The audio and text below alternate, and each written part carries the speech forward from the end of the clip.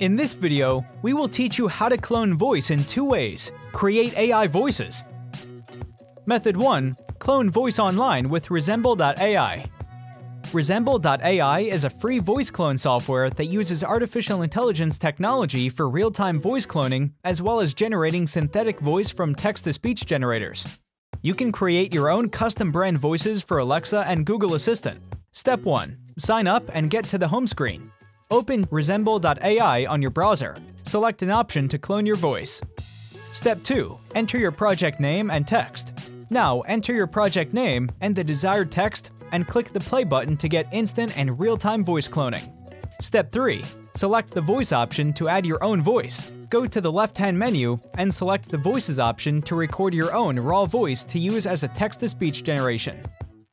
Method 2. Clone voice with Respeecher software.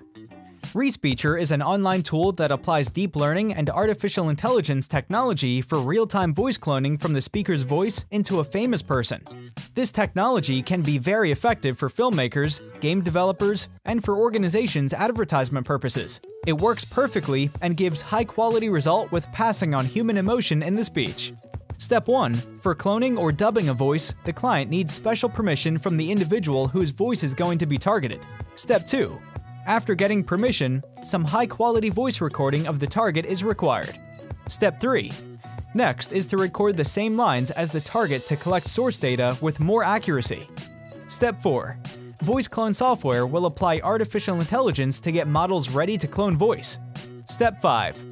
Now just use the microphone to record your voice, and we will perform a real-time voice clone and will return a high-quality clone voice. Bonus tip how to change voice with Filmora. Filmora is one of the best video and audio editing software that allows you to change the voice of audio or video or recorded voiceover. It is very easy to use and does not add any watermark like some of the other software.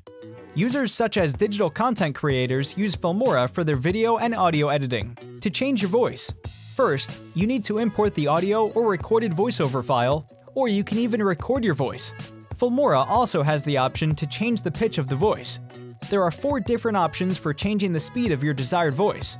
After you're finished editing your video or audio, you can save it in multiple videos and MP3 audio format and can also export the file to your computer.